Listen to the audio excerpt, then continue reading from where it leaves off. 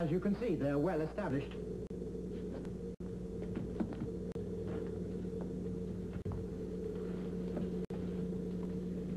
Lethbridge Stewart is asking for more troops. Yeah, to go chasing about on some sort of manhunt.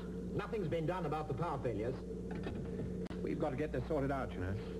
I'm under very heavy pressure from the minister. The future of this centre is very much in question. Ah, but You surely... made great promises for this project, Charles. Nuclear power into electricity, limitless supplies of cheap, safe energy. And we can do it, too. Millions of pounds have been poured into this place, with no results to show for it. But if this research centre is abandoned, all of that money will be wasted. It would mean the end of your career, Charles. That's why I'm doing my best for you. What does your security man have to say about all this? Major Baker is convinced there are saboteurs in the caves. And are there? Well, of course not.